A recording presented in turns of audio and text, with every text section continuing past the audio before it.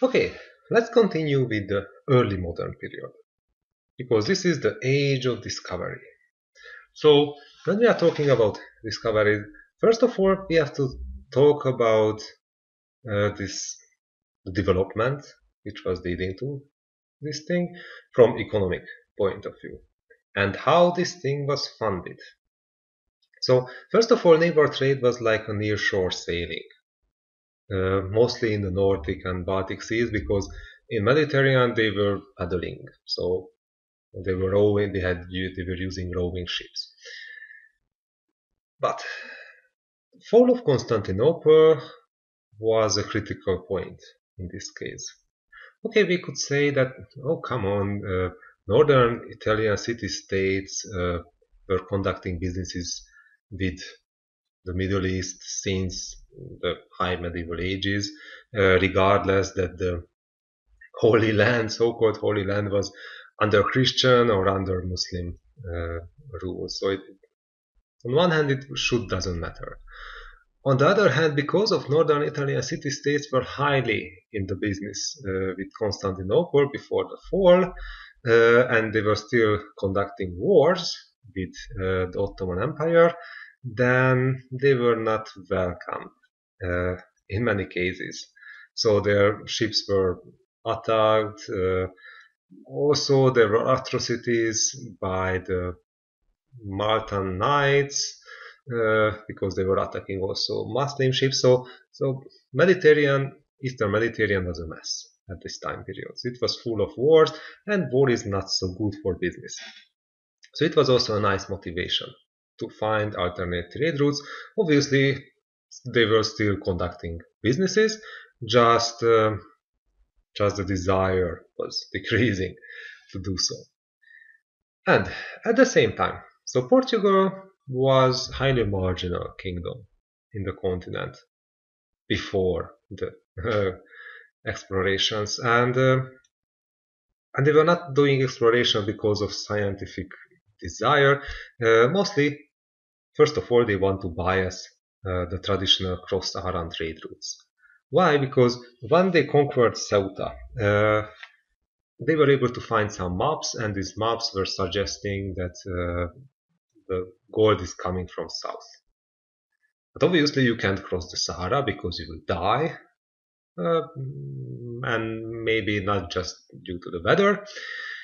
Uh, so they started to conduct trade missions uh, and uh, and in this case also they started to colonize islands and this colonization was really slow and, and highly inefficient. So it was taking uh, decades until they were able to colonize the Azores and the Canary Islands because they had to uh, invent all the institutional background that how can you trade with foreign people, uh, how can you talk with them, how can you conduct uh, businesses, how can you grow food in foreign territories. So, so they had to realize this. So after that figure that or later, uh, they were able to say that okay, now they were able to go ahead and they started to build small forts uh, on the African seashore. Uh, and also, it's really interesting to see the funding. So it's a highly risky business because going on the sea with these ships, which were recently created uh, on the basis of medieval ships. So caravels, yeah, they were big compared to the previous ships, just it's still small uh, thing. But for those people, it requires huge amount of funding because you need timber, you have to put them together, uh, so it needs shipbuilding capability, uh, also you need people on this, you need food, and also you need merchandise because if you want to conduct trade missions, then obviously you have to sell something. And also you have to defend yourself because piracy, uh, actually piracy was always present in the Mediterranean, even in the classical era, before the classical era, and still until the modern periods. Uh, piracy will be there. So you have to defend yourselves. You need cannons on the ships. You need some people with guns. Also, uh, so that's why funding was much more like the current venture capital investments. So nearly 10 20% of the capital was provided by the royal court, by the king or Uh, high noble, high nobility, and when, if the ship arrived back to the port, then they you had to pay similar share from them from the profit. So they behaved like investors. Absolutely, they were investors. So I mentioned again, they were not stupid people. Maybe they were strange for our modern perspective, but we should never approach them from our perspective because that would be highly misleading. And they were going down, so they were able to connect uh, Mali and the Songhai Empire. They were able to uh, connect Ghana. Uh, they were able to connect the kingdoms in the modern mm, Congo, uh, and also they were able to go around and arrive to India by sea. First misconception would be that uh, they were powerful. Uh, and this is a misconception because actually, even if they were building forts or trade, mostly it was fortified trading port post uh, in the African coast or in India later on, uh, mostly they were completely the subject of the local kings. And mostly the manpower which was stationed there, it was some hundred people. So if the local king or local duchies were unsatisfied, dissatisfied with this trade mission, with the, with the local management, uh, then mostly they were killing them all. So they were no, they had no political power there. Uh, and also there was a high, high, fluctuation because most of the people uh, who were coming or arriving uh, from Europe to this trading post, they were dying in the first year and and only 20% of them survived uh, to reach the three-year contract. And not just in this early time period, even in the 1600s. So, yeah. Uh, so, 50 years later, they were arriving to India. And also in India, they've had to face with this problem it was highly similar if you are bringing a sack of potato uh, to an Apple store that, okay, I have this potato, I would like to buy an iPhone and people would like to look at you with this really strange face. And uh, something like this happened with uh, Vasco da Gama because hmm, they were not, he was not kicked out. He did really nasty things. So even according to the people at this time period, he was a really strange guy. Sometimes people are calling him sociopath, but uh, right now it doesn't matter for our story. Uh, so mostly they had to realize that still they have to pay with gold and silver. How can you get gold and silver? First of all, you have to be really lucky because at the same time, uh, mm, Christopher Columbus from Genoese funding and under Spanish flags, because Spain was reunited, or united. Uh, at this time or right before of this uh, mission he arrived to Americas. And first of all the Caribbean islands were discovered with not so much potential. But then after Columbus uh, after a decade conquistadors arriving with some hundred of people. So so it's still sometimes historians are thinking about it that it was a really low uh, chance for success for conquistadors, but somehow they were able to use their not just their manpower, not just the weapons, but most, mostly their horses and their steel weapons and armory. And because they were able to use uh, local soldiers, so they hired local tribes to fight against the Aztecs and later on the Incas uh, to take over uh, these empires. And after that, huge amount of gold and silver started to flow in to the now Habsburg Empire because Habsburg married themselves in also to Spain and Portugal. Yep. Yeah, um, you can see that I'm a bit skeptical. I have some skepticism against Habsburgs, but I think it's highly understandable. Mm, inbreeding is not my uh, favorite thing, but actually it was a logical uh, evolutionary part of this uh, feudal system which was surrounding uh, Europe at this time period that sooner or later there will be a family, a royal family which is growing and marrying themselves to big enough. And this was the Charles V who was able to unite the continent and make the French king cry because if you are looking anywhere and you can see bleeding Habsburgs around all of your borders, then it's not the best day of your life. So, what happening? Obviously, if you are encircled by Habsburgs uh, and you are an English, Dutch, or French king, okay, not in that Dutch because at the beginning uh, Low Countries are the part of the Habsburg Empire, just later on uh, Dutch uh, territories uh, started to fight for their freedom. Uh, but if you are in this position, uh, that you are surrounded by Habsburgs, obviously you start to use piracy. So not pirates, sorry, privateers were used. So it means that pirates were uh, able to get a royal charter that uh, they are doing this business officially. So they can attack uh, ships uh, operating under Spanish or Portuguese flags and taking the merchandise and after that uh, they have to pay some 20% share of the profit to the kingdom.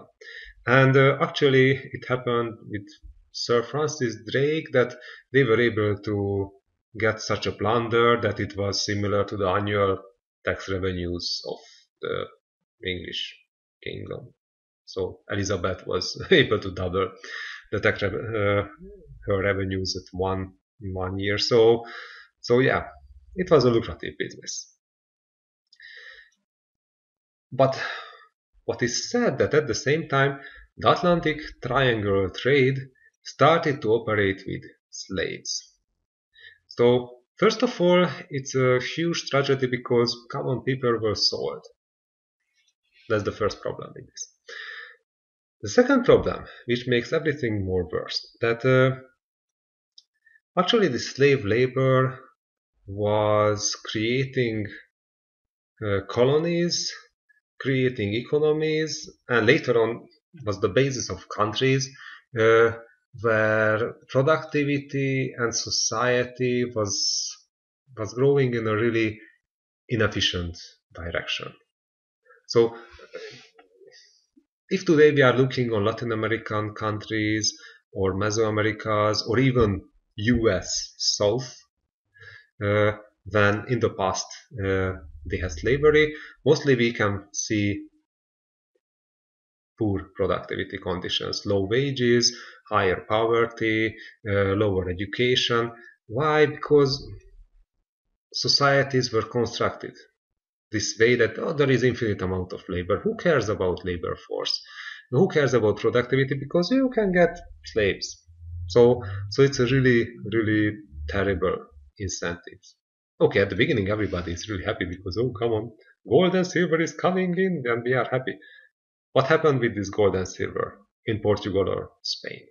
It was moving out. It was okay. Once arrived to the ports, it was spent uh, to purchase goods made in the Low Countries or goods made in England or made elsewhere.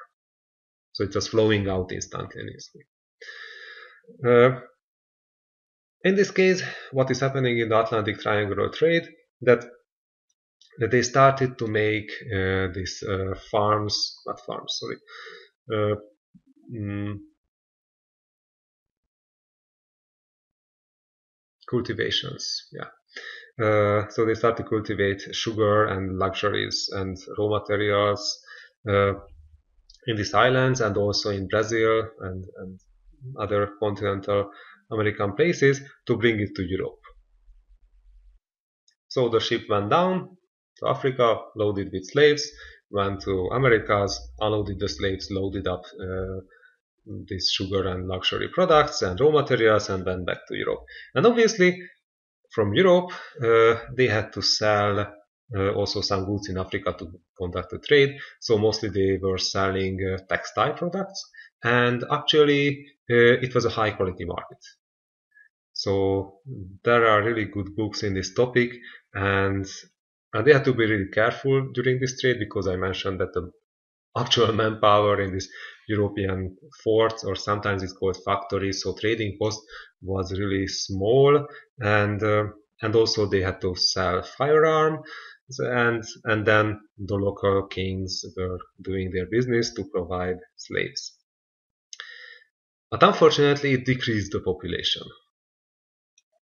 with a huge manner. So so you can say that okay, previously I talked about that uh, already there was a medieval or early medieval slave trade between West Africa and the Middle East.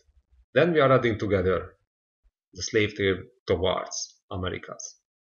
So obviously with low population growth at this region, uh, there will be a decline in population.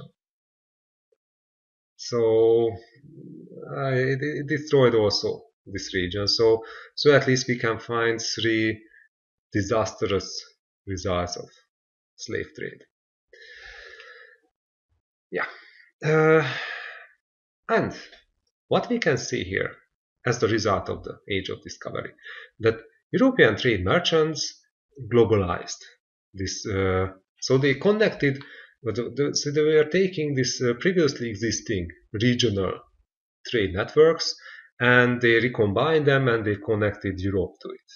And Europe became the most important node of this system. Yeah, some people can say that it was idealistic, some people are saying that it was terrible. I can't say a thing, so it happened in the past and we have to evaluate it as the event of past things. People did disastrous things at that time in the name of this trade, but uh, people are doing also disastrous things today. So it, I can't say that we have higher or moral ground uh, because well, it would be ridiculous. So if you are looking on the map, we can see the movements of slave trade, we can see the movements of goods, we can see the movements of gold back and forth uh, to the uh, East Asia or to the Southeast Asia, and and we can see that this stuff is going back. But the problem is that still you need huge investments. And until you are close to your costs, okay, you are loading a ship with merchandise, you can go somewhere and you can you can hope that you are not attacked by pirates. But what is happening when you would like to conduct businesses here? In this case, in India or in China or, or somewhere in between, you have to know some people. You have to know uh, your business partners, uh, you have to know the local, local ruler because you need some permission and, and so on and so on. So it requires a knowledge, specialized knowledge.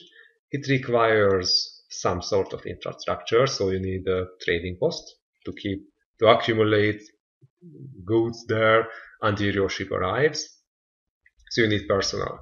You need warehouse. You need permission for that. And also you need ships, and these ships should work or go around half the planet and this time period.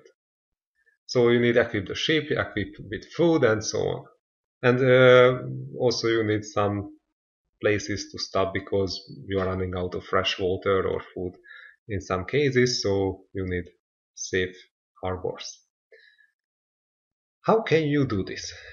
Okay, Portuguese were highly efficient to make at least some settlements.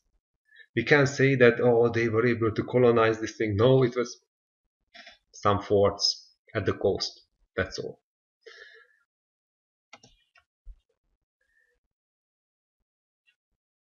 What kind of boom can it create for us?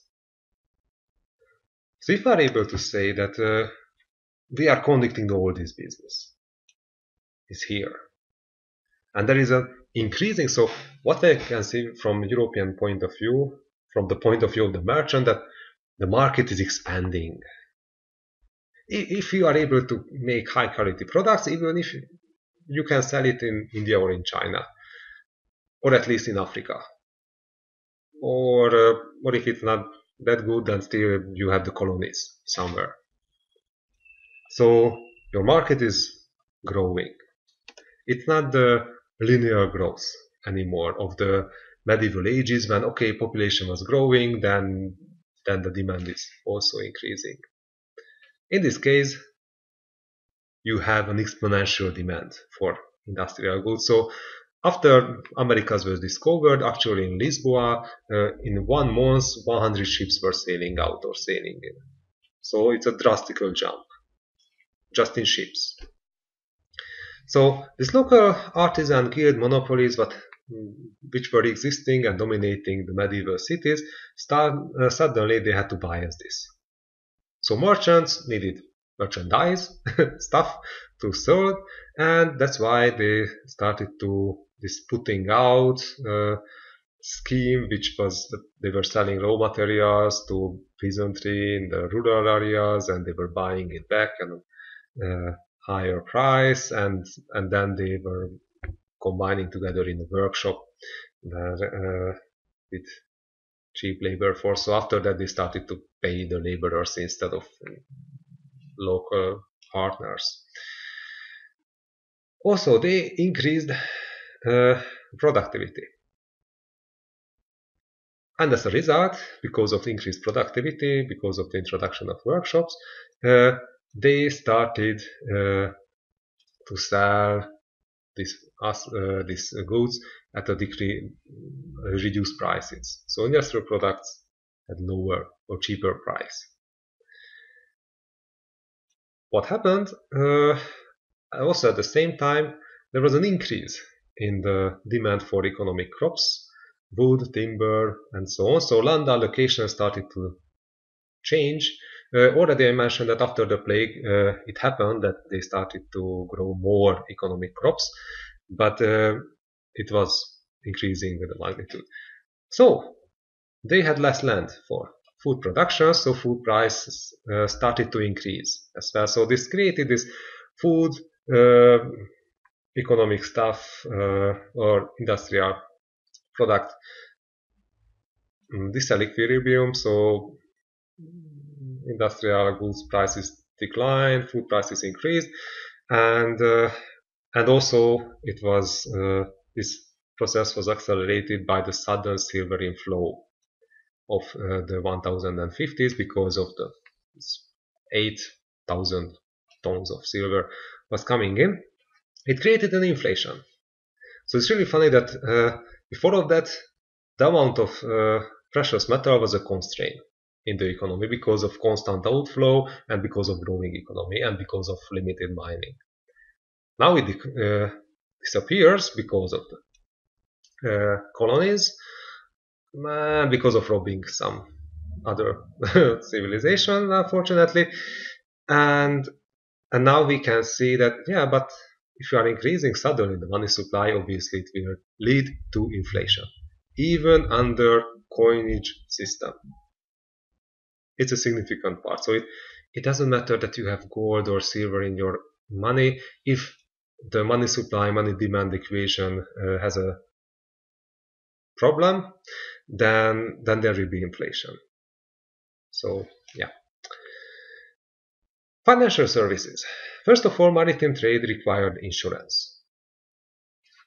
Because storms, pirates, bad luck can happen. Merchant banks. They started to provide loans and investment. Actually, it happened already before the exploration. So I mentioned during the after plague period and even before of that, just now they start to become more and more professional. So they are much more institutionalized. Nobody cares about or cries about that. Oh, is this um, ethical to ask for interest or not? Who cares? There is a business behind that. So it's, it's interest payment uh, became uh, an uninteresting topic after the reformations at least and but before of that also it was nobody stupid to say that okay if i'm providing some loans to someone uh, i will not uh, thinking about the risk of this uh, endeavor because of partner risk for example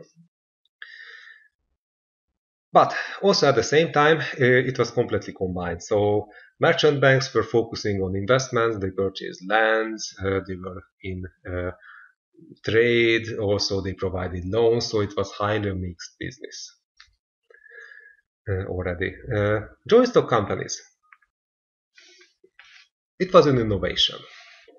So before that I mentioned that there were partnerships amongst uh, different merchants. Now uh, professional companies started to appear where the investors had limited responsibility.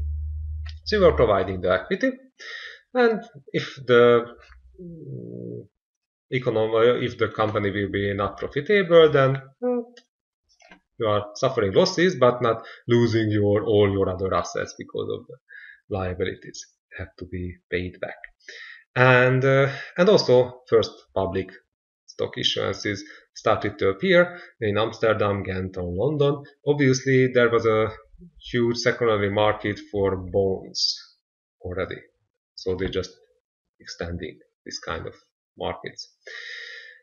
And economy grows faster than mining or trade provides gold and silver, so they started to use commercial papers and early bank notes.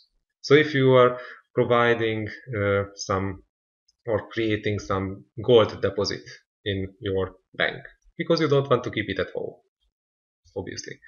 Or if you would like to use this gold deposit as a reserve for your trade activities, uh, then then the bank was able to issue banknotes on this basis because you have this certificate certify paper and if you were if you needed this gold you were able to go back to the bank and ask for it but but you were able to trade with that. And and if you were robbed during the road then at least they were just taking the paper away from you not the exact gold. Population growth. Finally this malthusian uh, grain constraint disappeared from the continent. So we can see that constraints are starting to disappear and again, here from agriculture. Potato, rice, corn is coming in, and we can see that uh, until 1700s, in the middle of them, uh, that population was increasing, flourishing. Regardless that there was an extraordinary cold in the 1500s, and also because the, during the 30 years war in the 1300s, for example, Germany lost, or nowadays Germany, so the Holy Roman Empire, lost one third of their population in huge and devastating wars. And still, population is growing. So this is how agriculture is important. So we can see that uh, compared to the 500s, uh, population was growing, okay, within a thousand years, uh, by one million people, by 100 million people. Institutions. In this case, tax revenues provided enough support for the French, for the Spanish, for the Portuguese, uh, and sometimes even for the Swedish and Danish, uh, and for some time periods also for the English uh, kings to push forward and to introduce absolutism. So it means that uh, after that they started to bypass uh, parliaments and they started uh, to realize not tax based revenues but they started to connect so they started to realize revenues from trade instead of taxes okay taxes were still collected just in this case if you were uh, creating uh, some duties on foreign trade, it was much more lucrative. If you were providing uh, monopoly for a company, uh, then it was much more lucrative than just collecting taxes from peasants. Who cares about them? So it created a way more professional public administration and it uh, reinforced the standing armies who were waging wars all over the continent. So, so we can see that, okay, there was a 30 years war when everybody was fighting with everybody on the continent in most of the cases. So, uh, for example, Sw Swedish army sacked Prague, the Hradzin, uh, at the, in the last year of the war, uh, but but actually decimated population uh, in uh, the Holy Roman Empire. Also at the same time, Turkish wars happened, uh, mostly annihilating the population in Hungary. So after this war, Hungary had to be resettled by settlers from Western Europe and medieval, uh, medium Europe and, and from elsewhere. Uh, and unfortunately, Central and Eastern Europe start to lag behind because they are not part of this maritime trade, uh, they start to become a periphery of Western Europe. We can say that in many cases they were already periphery because um, appearance of cities uh, was what happened later than uh, in the core regions, but but at this time period we can say that they are starting to lagging behind clearly. Uh, they started to focus on agricultural production and export, but still this export was really tricky because of their landlocked um, nature. Uh, so they are growing to full potential with their agricultural export only uh, after railroads were built. So until this point, yes, they can export grain, just they have to use rivers and barges on rivers. So or or they can get uh, cows and herders and, and to move them to uh, Western markets. External balance. In this case, mercantilism was the uh, main issue. So foreign trade was uh, managed through monopolies. Uh, royal chartered companies uh, were highly popular. In many cases, they were going to default, but but they were popular at this time to create something like this, and also they tried to create workshops uh, domestically from uh, royal funding. And the global GDP started to show even further disparities, so we can see that West Europe had uh, now 22%. Uh, so similar power like China, a bit smaller than India, while at the same time we can see that the rest of the world is became highly insignificant. If we are looking at the data, we can see that now the growth was not following a linear trend line. It's much more like exponential. It's not that exponential like it will happen after this era, so after the mm, industrial revolution, but but it prepares us for this. Also, we can see the inflation. So I mentioned these uh, changes in food prices, changes in other industrial or goods, uh, and also the inflow of uh, precious metals. So it had its uh, results. So here we can see inflation even in gold-based currency system.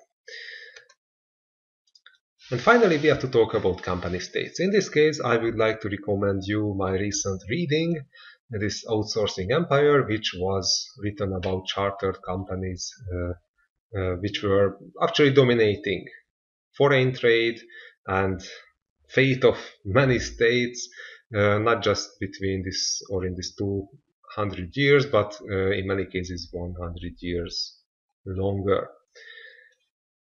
So I mentioned that it can be really tricky uh, to finance blue water sailing and long distance trade because capital, expertise, manpower needed and it also has huge risks.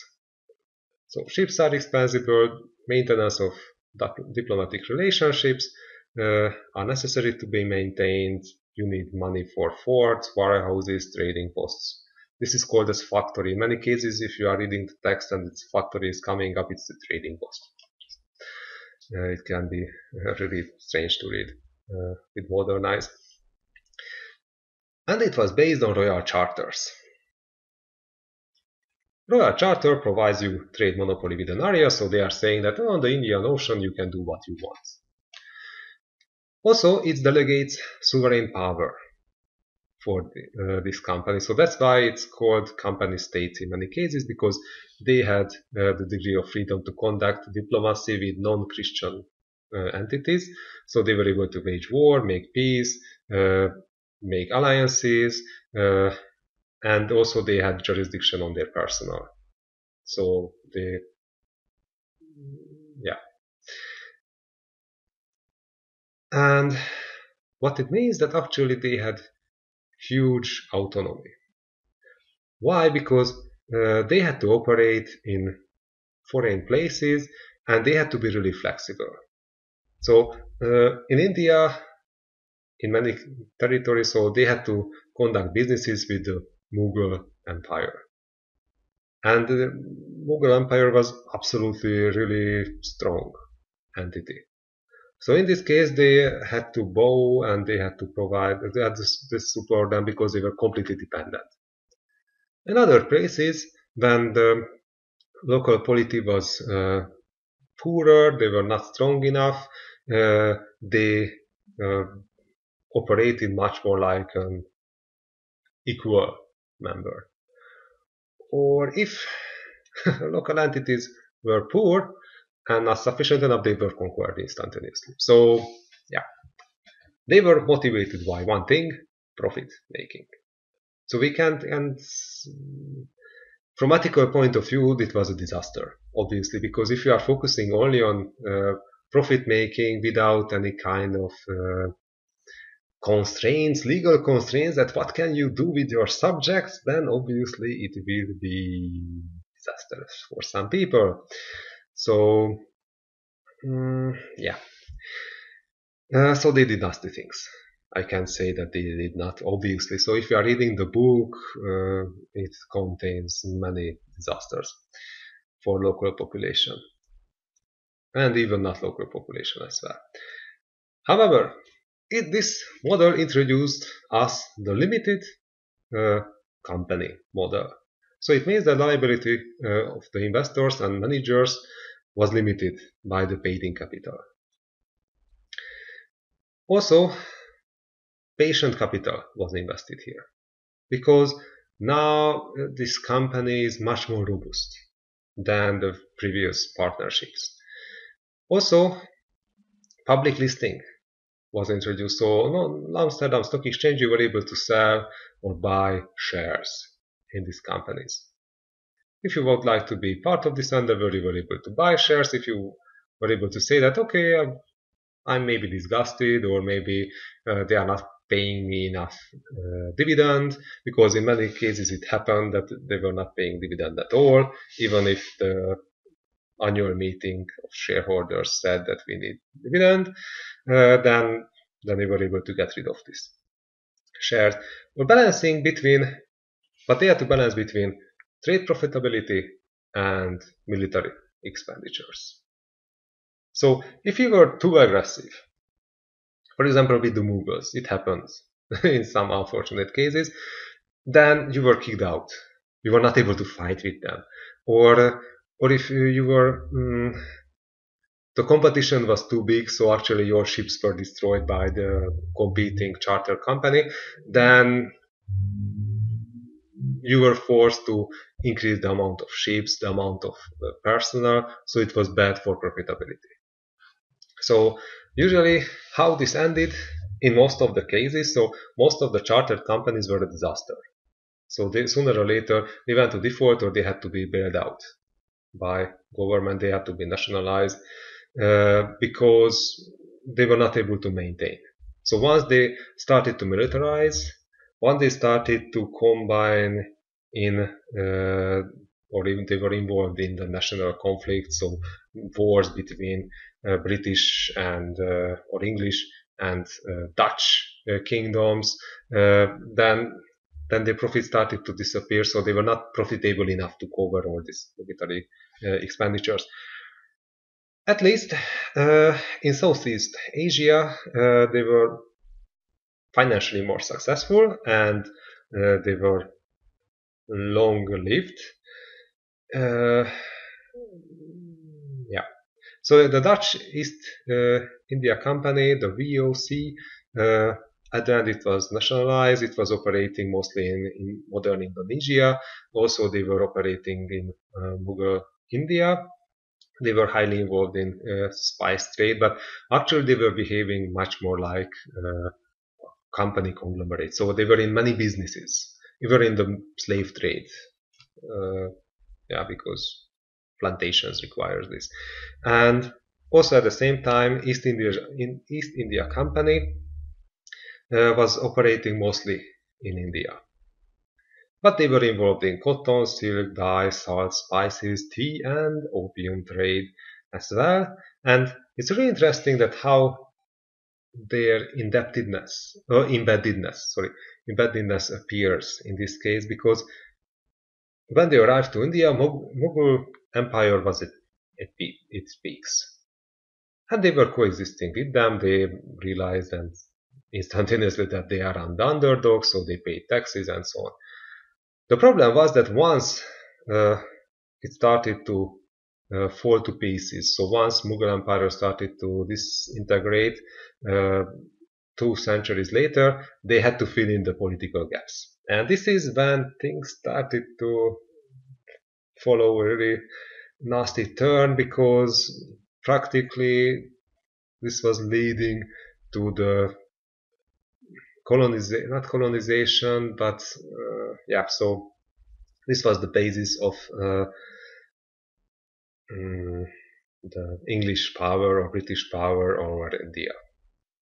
And this is what we can see that they nationalized it later on, uh, but yeah, so strange. In the Atlantic trade, regardless that I mentioned that there were many things to trade and then slave trade was there and and it seems to be Mm, lucrative, but actually all of these attempts went to default except Hudson's Bay Company, but they were highly marginal.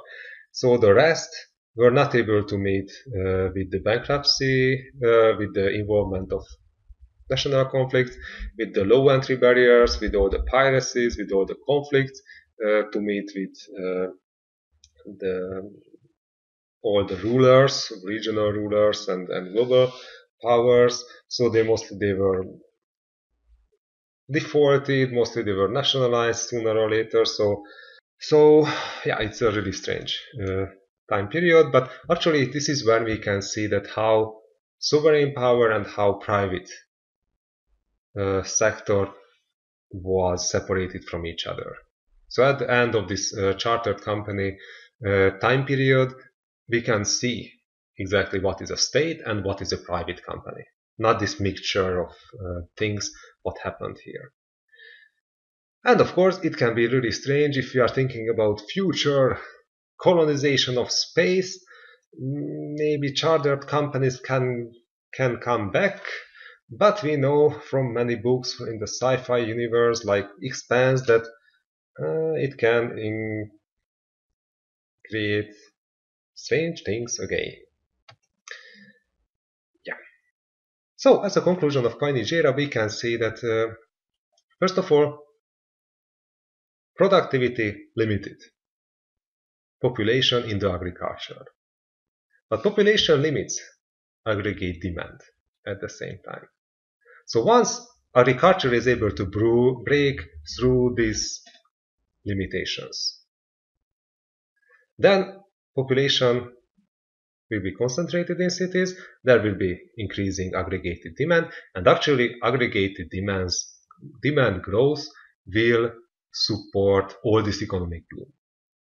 This will support monetization, this will support the increase in economic activity, trade turnover, supplier credit, commercial loans. It will create us merchant bankers, short-term loans, long-term uh, bonds, commercial papers within a century. So it's really interesting that once they are not starving to death, then a century later we can find many, many blooming cities which are growing and, and sooner or later they are uh, they are showing higher and higher economic activities. Also, we can see that public finance, it completely depends on tax base. And tax base obviously depends on economic activity. So it has a positive feedback. But also, sovereign states have to be separated from private agents. If you are successful in this, then the state will be successful. If you are not, then sooner or later you will be a captured state and you will be fall into stagnation. Productivity in production. We can see that until growth is linear, then there will be local monopolies. After market starts to increase, then they start to say that okay now we can increase uh, or activities and, and workshops are starting to appear because of cheap labor but this cheap labor one is not cheap enough later on we can see that once they start to see that okay we need way more products uh, this labor force will be limited so they can say that, okay, let's invest into machinery because we don't have more people or this, or we can have more people, just people are expensive. And this was driven because there were no slavery in Europe, which unfortunately slavery is a disaster for economic growth. Regional trade networks recombine as global trade networks by chartered companies, and it was highly robust institutional system. Bye bye.